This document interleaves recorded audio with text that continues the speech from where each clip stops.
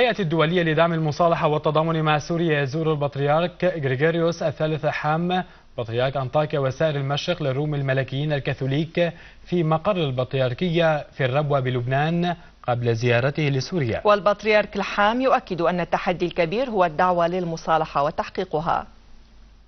استقبل البطريرك غريغوريوس الثالث لحام في المقر البطريركي في الربوي وفد الهيئة الدولية لدعم المصالحة والتضامن مع سوريا. وضم الوفد 20 شخصية عالمية ناشطة في ميادين حقوق الإنسان والسلام يزورون لبنان وسوريا بدعوة من البطريرك لحام.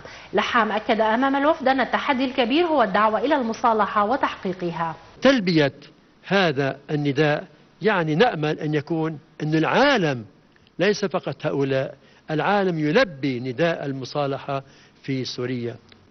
الآن وقت أن نقول كيف نسير معا مسيرة السلام والمصالحة.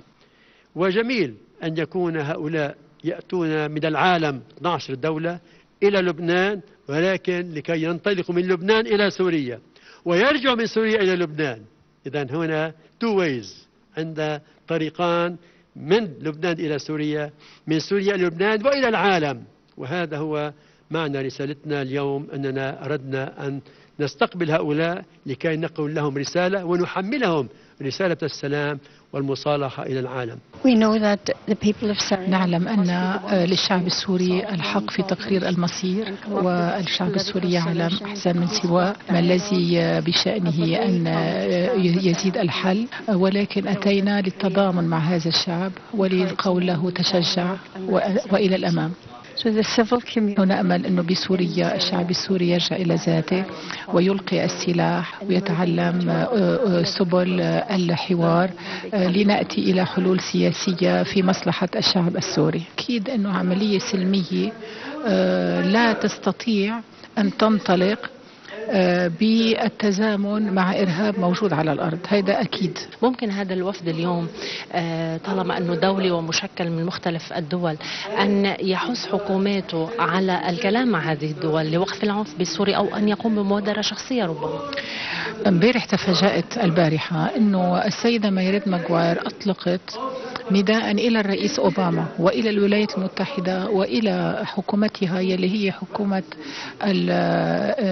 البريطانية وطالبت بوقف دعم الجهاد المسلح في سوريا دعم الإرهاب في سوريا ووقف التدخل القسري في الشؤون السورية الداخلية. And you may know that in America we feel as Americans a special connection with Syria. نحن في أمريكا نشعر بأن لدينا رابطا خاصا مع سوريا.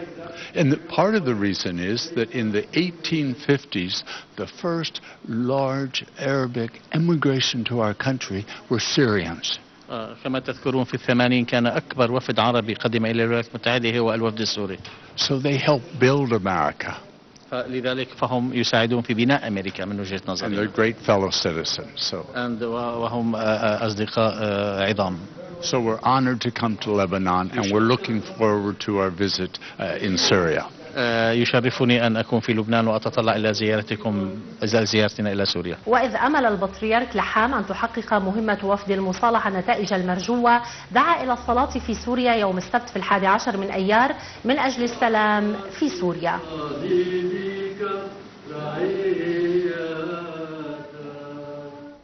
حكومة